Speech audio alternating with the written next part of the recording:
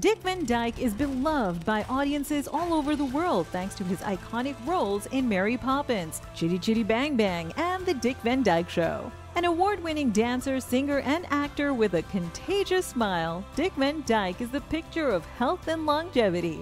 At 97 years old, he's still taking roles and plans to live to at least 100. Check out our full length video on Dick Van Dyke as we share some of the lesser known details of this icon's lifestyle habits that have him jumping and dancing, even after living for almost a century.